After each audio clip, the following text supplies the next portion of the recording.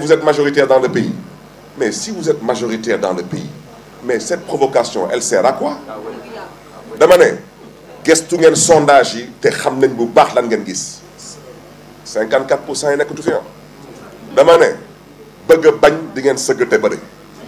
A roi des arènes nekk man maay tànn mel ni ku nekk restaurant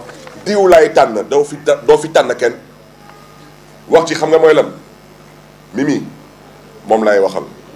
dama ne mel yow grand rek nga rek nga di grand di di di napp en fait di grand di bëgg fitu grand ay suñu ci élection yi ay haute cour de justice da ngay rek di a grand rek. dama ne wax ci mi la c'est là le bloc générationnel. gis ngeen démb c'était Abdou Diouf Ablaye ensuite Ablaye Wade Macky. Ensuite Macky ak Mimi. Na Mimi ñëw sëggate bëre. Te xam ne bu baax ku mu ko séqal moo ne dans les grandes démocraties quand il y a des débats télévisés ce n'est pas au pouvoir sortant de choisir les invités. Mais je souhaiterais surtout que le débat soit en français d'abord. Parce que maa ngi commencé bëgg a am problème avec l'ENA.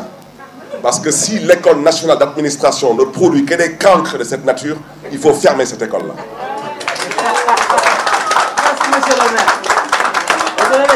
Man man suma pap c'est un énarque sorti major de sa promotion. Wante y a un sérieux problème à l'ENA aujourd'hui. Parce que énarque bu déggul tubaab y a un problème. Te loolu mooy dëgg bi.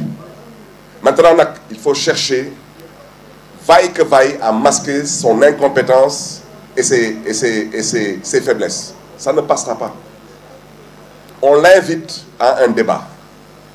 Et on l'invite surtout à un débat sur ces